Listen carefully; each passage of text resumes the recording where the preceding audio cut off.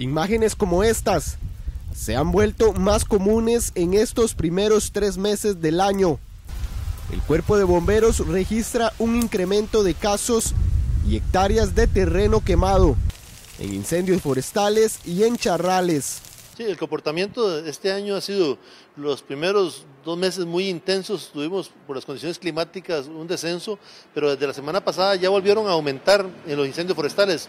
De hecho, durante toda la semana pasada tuvimos el incendio forestal más grande que hemos manejado este año en Andayure, que fueron 1.200 hectáreas.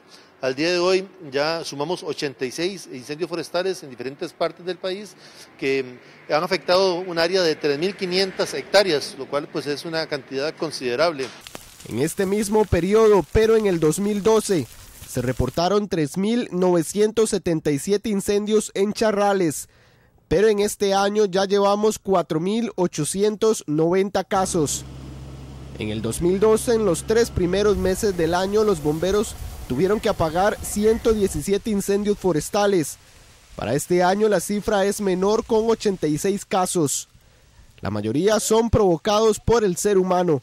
Estadísticamente se ha observado que hay un 50% eh, de los incendios que se producen porque la gente utiliza el fuego para limpiar un lote, este, para cultivar, porque tiene mucha maleza. Eh, hay un 40% que son actos vandálicos, ¿verdad? Y solamente un 10% es eh, causas fortuitas, producto de algún vidrio, algún efecto natural. Entonces eh, tenemos que un 90% son provocados intencionalmente y esto pues también yo creo que es la llave para solucionar el problema, generar conciencia, más normativa, eh, ojalá que se logre aprobar en estas extraordinarias la ley del fuego que establece sanciones y regulaciones para el uso del fuego. En hectáreas en este año ya se han quemado 3.516 hectáreas. Los bomberos piden no hacer ningún tipo de quema debido a que los fuertes vientos lo propagan rápidamente.